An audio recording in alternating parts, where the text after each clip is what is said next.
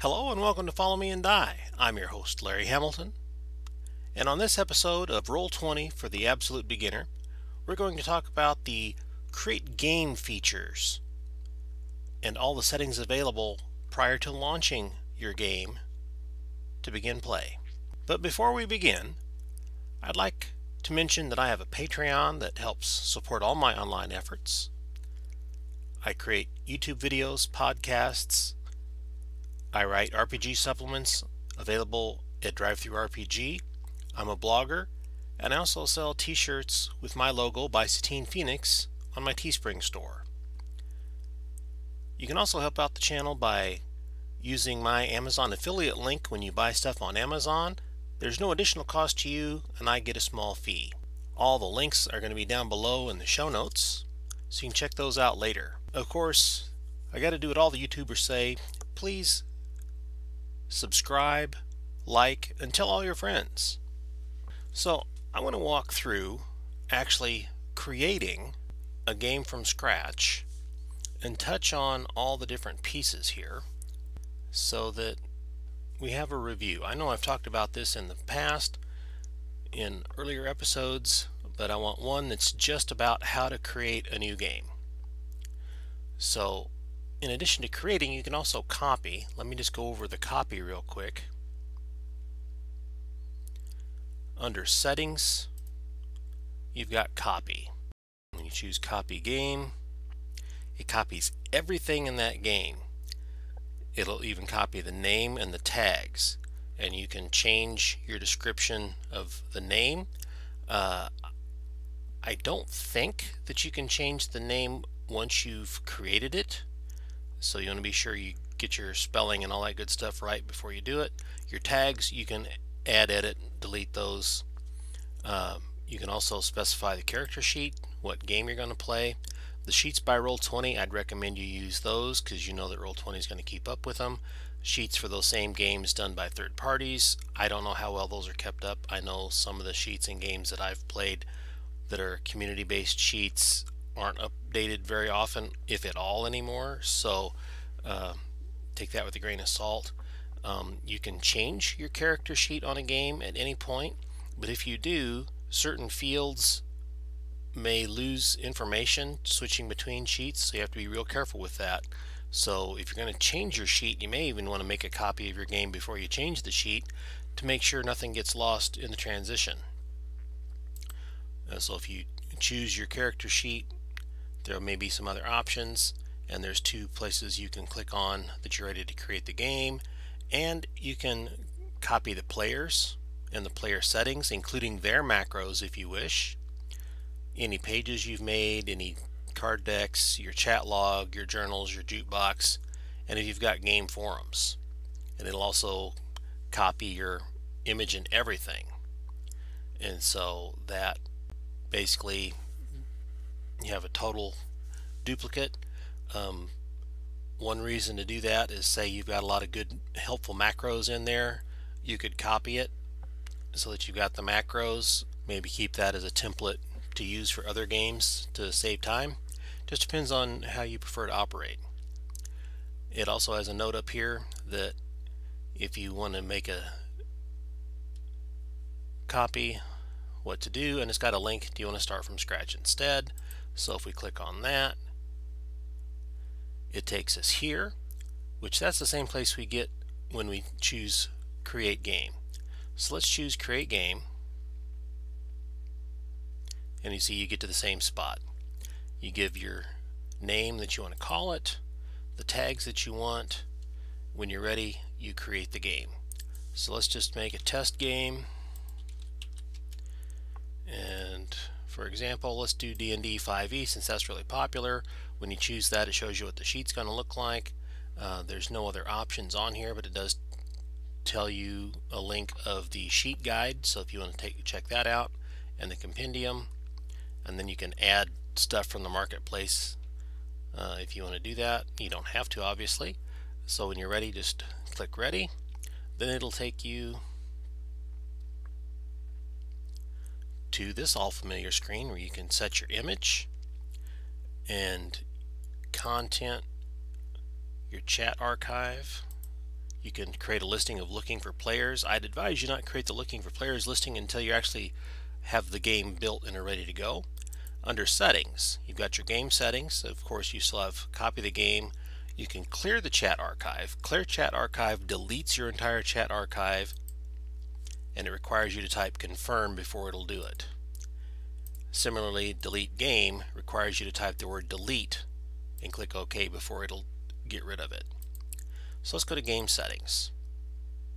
What we'll see at the top is there are two features that are paid features that are not available to my account because I've got a free account and that would be allowing public access to the game the default is no and the game background image that game background image is what we were fiddling with a couple episodes ago for the image for the game. And you notice that the images we created on certain view didn't go all the way to either side. I believe that's what that's for. Allow players to import characters. If you've got someone uh, with a paid account and you want to let them import an account from another Roll20 game you can then there's game default settings the page default so all the different maps and pages you make you can set a default that happens every single time for every map so you don't have to think about it so if you always want fog of war enabled and the opacity set, and if you had the paid features, you'd see the advanced fog of war and the dynamic lighting down here. Similarly on tokens, you can set defaults for everything. Some of these defaults are specified by the character sheet, so I wouldn't go setting defaults because this would control every single game token that you make for every character and every NPC and every monster. If you don't want everybody to have the same defaults, don't set it. But if you want everything to be the same, then specify the defaults you want. Of course, they're defaults, you can override them. In-game compendium, you can have it determined by the character sheet. So we chose the 5e character sheet. So for a free account, you'll have access to the system reference document. If you buy the player's handbook, the players would have access to that as well. Uh, or you can specify the game rules you can just let the character sheet pull that in. Do you want to share your compendium with the players? You can choose yes. And then there's a compendium sharing slot. And then I've already specified the character sheet. And then here we've got some options we can fill in on the character sheet. And it's going to differ from one character sheet to another. So just read through these options and pick the ones that you want. I'm not going to take the time to go into that. As I mentioned, the bar values, bar 1 is for hit points and bar 2 is for the armor class. If we come back up here to token defaults, bar 1 and bar 2, if you would put something in here, that would change the default to ignore what's on the character sheet. So that's something you want to take into consideration is what is the character sheet doing and are you going to be overriding the character sheet which may break functionality that you would expect. Um, once you've got everything set, you click Save Changes. And then you have to save changes keeps you on this screen so you have to choose home to get back to your game here's our test game we can come here uh, playing. You can tell it what game you're playing. You can choose a day and time for the next game. Description. Save your changes. You can use markdown formatting. If you don't know what markdown is you can google that. Basically it's a way to add italics and bold and other formatting to your text game add-ons so you can add different things um, I guess Pathfinder has a playtest flip mat multi-pack or you can add other things that would take you to the marketplace. Uh, you can post a new topic in your game forum and say welcome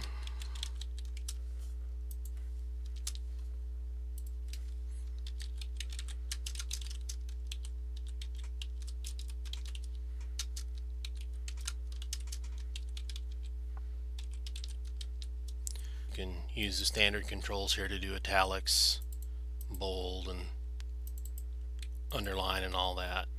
Hit post topic, and now you've got a topic, and we can go back to home.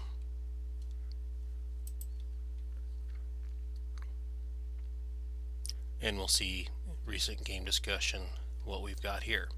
As I talked in my last episode, you can change your default token markers here. Here's where you can invite players. You click the invite, plug in an email address, and you send it that way. Or you can use your share link. Don't try clicking on that link because I'm going to be deleting this game after I uh, finish recording the episode. So there won't be anything for you to join here. But uh, this will allow you to invite others to join your game.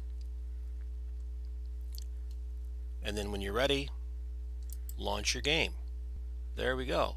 So now here's a empty game that allows you to do whatever you want with it. There's no maps yet because it's brand new. There's no other settings. There's no macros. Nothing else. Well, the art will be defined because your art carries through across all your games. So that's how you create a game. It's quick and easy as you saw. Um, you can't hurt anything. Create your free account, create a game. If you want to make a change, you can go to your game settings and you can change something. And if you decide you want to check out the paid features, get a paid subscription and you can go for it. So that's all there is to creating a game or copying a game even. Uh, so I hope you found that helpful. If there's something specific about copying or creating a game that you'd like to know, comment down below and either I or the other viewers will be able to comment on that. I hope this has been helpful. Have a great day and game on. When you create a new game, on this screen it's got an option for choosing a module. Up at the top here you've got starter sets and other free content and then down below you've got the marketplace for paid content.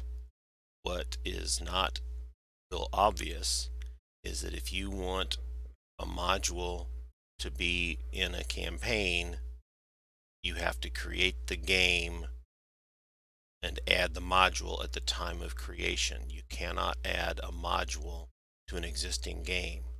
The only way that you could get an existing character would be if you have the, uh, I believe, a paid account so that you can move your character sheets between games so that if you have one campaign in a rule system and you move on to the next module in the rules same rule system with the same characters you either have to re-enter all the characters or copy them using the copy feature. So that is not real obvious. It took googling to direct back to the roll20 forums to find this.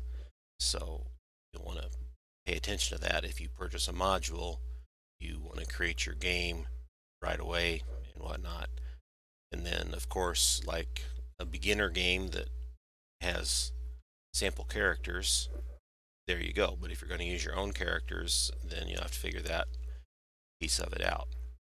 Related to paid modules, I was advising someone on the getting the Tomb of Annihilation module to show up in their game. That's when we figured out that you have to select it when you're creating the game. A couple of things in the game, in the module, were not obvious.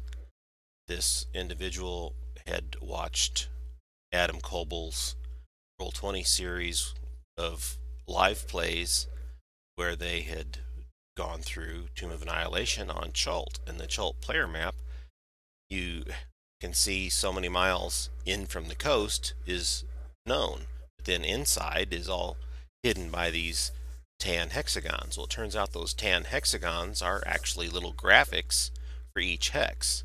And you've got a couple different ways you can deal with it. You can uh, delete each hexagon, or you could send it to the GM layer if you wanted to be able to bring it back for some reason.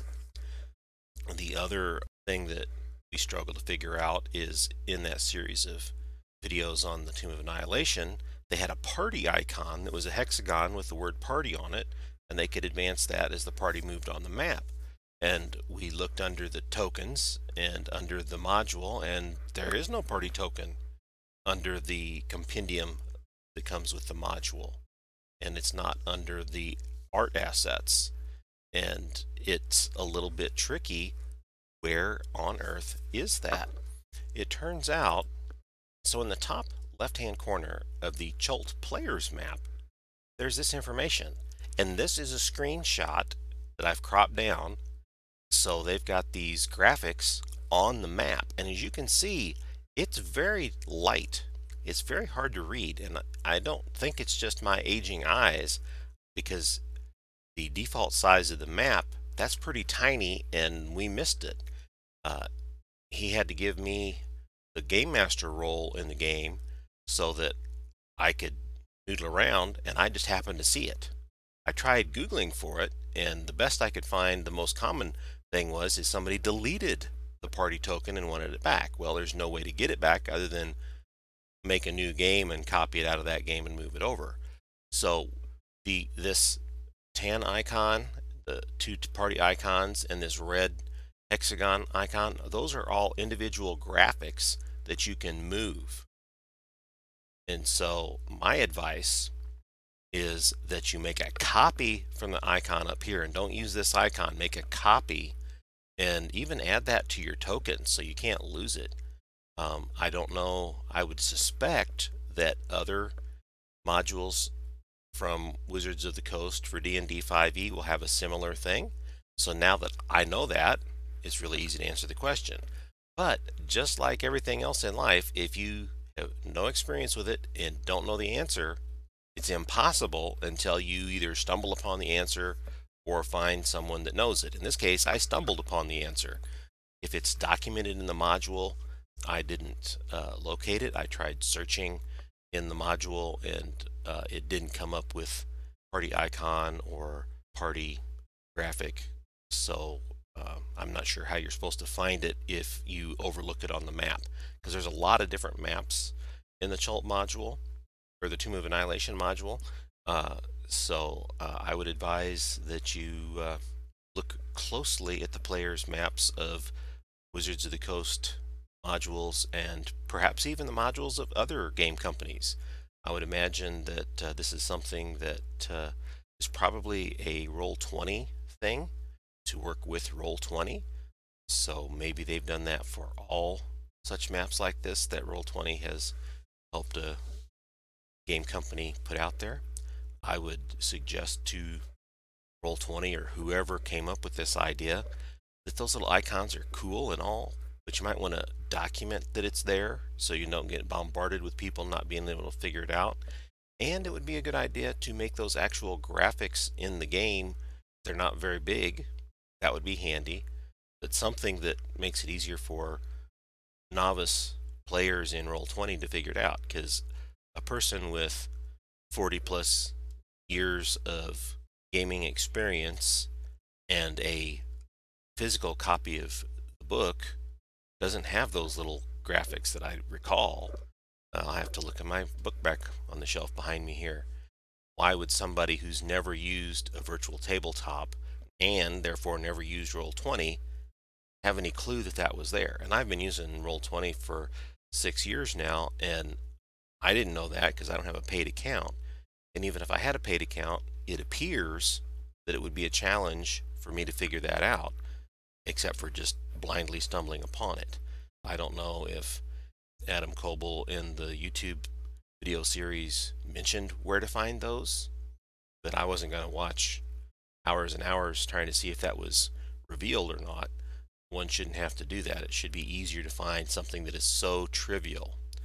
But I guess like a lot of things, when you know something so well, you can't imagine nobody else doesn't know.